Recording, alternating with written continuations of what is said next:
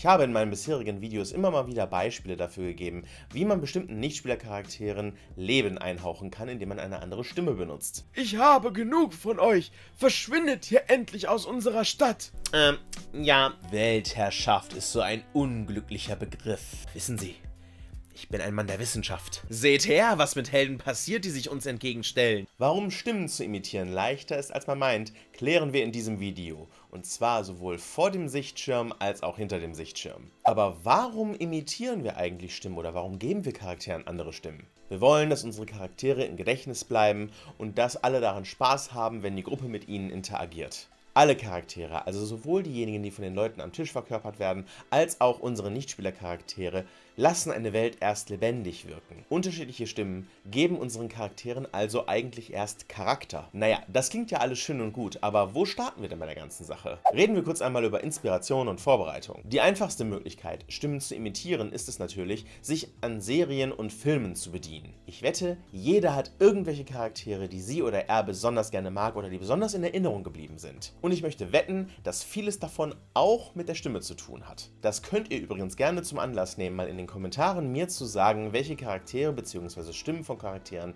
ihr besonders gelungen findet. Es macht auch gar nichts, wenn ein Charakter wirklich mal ähnlich klingt, wie ein Charakter, den man aus einem anderen Film oder aus einer anderen Serie schon mal gehört hat. Wenn der Charakter überhaupt wiedererkannt wird, denn ihr gebt ja trotzdem nochmal eure eigene Note mit in diese Stimme, dann kann es unter Umständen sogar dazu führen, dass sich eure Gruppe am Tisch darüber freut. Eben weil es einen Wiedererkennungswert hat. Eine weitere Möglichkeit ist natürlich, dass während wir Nichtspielercharaktere entwerfen, sie nicht nur mit irgendwelchen Motivationen oder Hintergrundgeschichten ausstatten, sondern eben auch uns Gedanken darüber machen, wie diese Person wohl am Tisch wirken wird und welche Stimme wir ihr geben werden. Ich habe zur Vorbereitung an sich auch schon mal ein Video gemacht. Und dann müssen wir die Stimmen eigentlich auch nur noch üben. Man muss auch gar nicht viel üben. Theoretisch reicht es eigentlich schon, wenn man so ein, zwei Minuten ein bisschen die Stimme mal vor dem Spiegel, unter der Dusche oder bei der Autofahrt mal probiert. Und dann natürlich noch das Wichtigste, habt Spaß dabei. Probiert ruhig aus. Und es macht auch überhaupt nichts, wenn man am Anfang in den ersten Sitzungen sich eine Stimme überlegt, die man hinterher ablegt oder sich eine andere Stimme ausdenkt. Ich möchte nur noch einmal den Bonustipp geben, dass wir zwei Stimmen für uns reservieren. Das eine ist die Spielleitungsstimme, also die Stimme, in der ich jetzt zum Beispiel auch gerade rede. Das heißt, diese Stimme ist abgegrenzt von den ganzen anderen Stimmen und Nichtspielercharakteren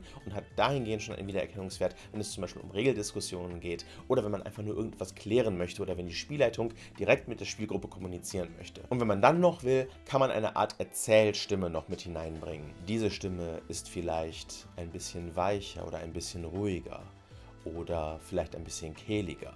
Diese lässt sich zum Beispiel gut dafür einsetzen, wenn man versucht, eine Szene aufzubauen oder Stimmung zu erzeugen am Tisch. Ein kleiner Disclaimer vorher. Es gibt eine ganze Profession um dieses Thema. Ich bin selbst kein Synchronsprecher, kein Stimmenimitator. Ich habe lediglich über acht Jahre Improvisationstheater und richtiges Theater gemacht. Ich kann also auch keine Tipps dazu geben, wie ihr eure Stimme schont. Ich denke aber, eine gute Faustregel könnte sein, dass wenn ihr merkt, dass es euch anstrengt oder dass ihr merkt, dass eure Stimme wehtut, dann ist spätestens der Zeitpunkt aufzuhören oder sich gegebenenfalls eine andere Stimme zu überlegen. Reden wir nun also über die 1000 Stimmen. Es gibt verschiedene Arten, seine Stimme zu manipulieren. Ich zeige euch hier ein paar Möglichkeiten, aber es gibt mit Sicherheit noch einige etliche mehr. Und ihr werdet wahrscheinlich merken, alleine diese Arten geben uns eine Menge unterschiedlicher Charaktere. Wir haben natürlich einmal den Klang der Stimme, also hoch oder tief. Man kann zum Beispiel relativ tief aus dem Bauch heraus sprechen. Oder man geht ein bisschen weiter höher in den Brustkorbbereich. Oder man guckt, dass man die Stimme hier oben in den Hals hineinbringt. Dann gibt es natürlich noch die Möglichkeit, sie hier oben auf der Höhe der Nase anzusiedeln. Und dann haben wir noch hier oben die Möglichkeit, mitten oben in der Stirn. Und wir können noch höher gehen, dass die Stimme quasi von oben aus dem Kopf herauskommt. Das sind jetzt nur einige Etappen beim Klang. Theoretisch kann man auch dazwischen noch variieren und sich andere Orte aussuchen, aber es hilft dabei, finde ich, wenn man visualisiert, wo sich die Stimme im Körper theoretisch befindet. Als nächstes die Lautstärke. So macht es einen Unterschied, ob wir sehr laut sprechen oder doch sehr leise, im Prinzip ein Flüstern. Dann haben wir natürlich noch das Tempo, also langsam oder schnell gesprochen. Ich weiß nicht, ob das eine gute Idee ist. Ich weiß nicht, ob das eine gute Idee ist. Dann haben wir den Nachdruck, also ob irgendetwas kräftig gesprochen wird oder vielleicht doch eher ein bisschen weicher. Ich als Mann habe zum Beispiel immer Schwierigkeiten, eine Frau zu sprechen. Natürlich kann ich hochsprechen, aber das klingt doch eigentlich eher ein bisschen blöd. Da ist es viel einfacher, wenn ich zum Beispiel die Stimme etwas weicher werden lasse. Da muss ich mich gar nicht so richtig anstrengen mit meiner Stimme, sondern ich kann eventuell in meiner eigenen Stimme reden. Dann haben wir noch Textur, die wir in die Stimme bringen können. Also zum Beispiel, ob irgendetwas sehr kratzig klingt. Oder ob man vielleicht ein bisschen nasal spricht, also die Stimme ein bisschen weiter noch nach vorne aus dem Kopf herausnimmt. Oder ob man vielleicht ein bisschen Atem mehr in die Stimme legt. Dann haben wir noch etwas, das würde ich jetzt als Richtung betiteln. Wahrscheinlich gibt es da noch einen viel besseren Begriff für. Das ist nämlich, ob man vielleicht etwas staccato-artig spricht. Oder vielleicht auch eher lieber einen Singsang eher in die Stimme bringt. Und theoretisch haben wir natürlich auch noch die Möglichkeit, zwischen jung und alt zu wechseln. Technisch gesehen hat das viele Überschneidungen mit dem Klang der Stimme. Macht es durchaus einen Unterschied, ob eine gleiche Person 60 Jahre, 80 Jahre oder 20 Jahre alt ist. Und theoretisch haben wir jetzt auch noch die ganzen Akzente und Dialekte, die wir durchgehen können. Akzente und Dialekte sind immer ein eigenes Thema. Manche Leute zieht das aus der Immersion, manche Leute finden es ganz witzig und passend. Da gibt es kein richtig und kein falsch. Und dann haben wir noch zwei ganz andere Kategorien,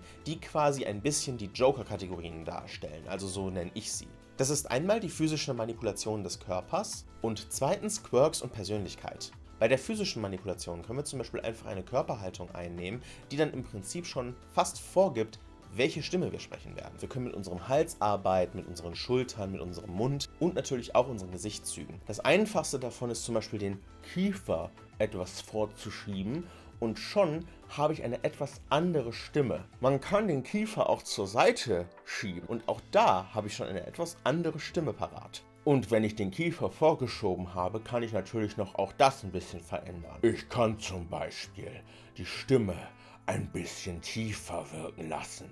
Und schon habe ich eine Art Ork, den ich sprechen kann. Loktar-Ogar. Oder wenn man die Schultern hochzieht, ihr seht jetzt schon, während ich die Schultern hochziehe, wandert die Stimme automatisch hier in den Kehlkopf.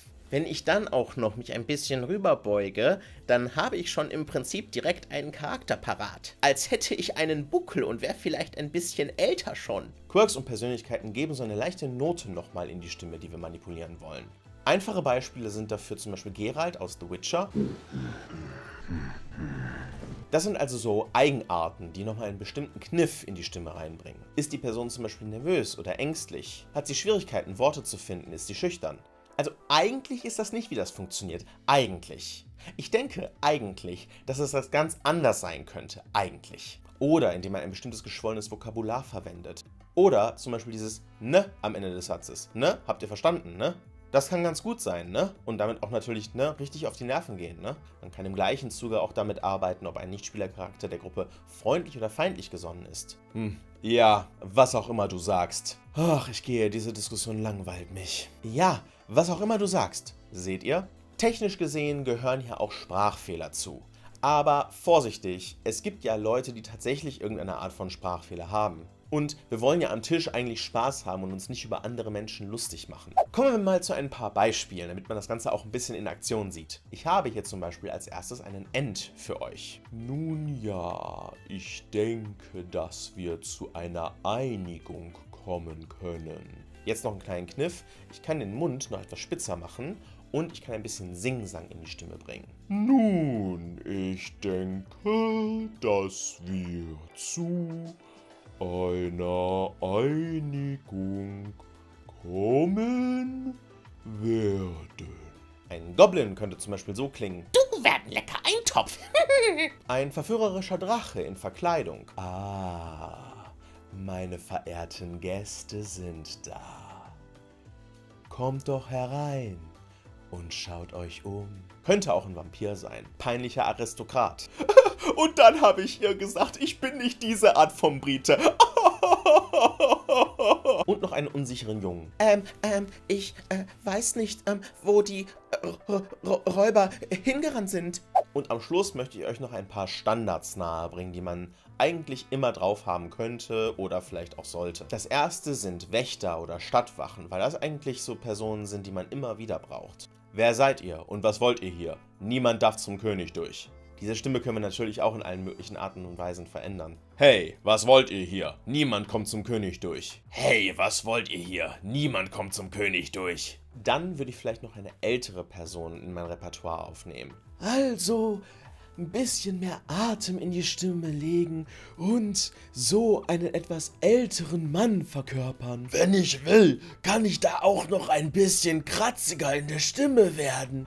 Oder ich kann ein bisschen höher sprechen und damit bin ich dann vielleicht eine Art Hexe oder so. Zeig mir mal, was du da so bei dir hast. Und das letzte wäre eine Art höhere Stimmenkategorie, was man zum Beispiel für Kinder oder Adelige verwenden kann. Ähm, ich weiß nicht. Ich weiß nicht, wo sie alle hingerannt sind.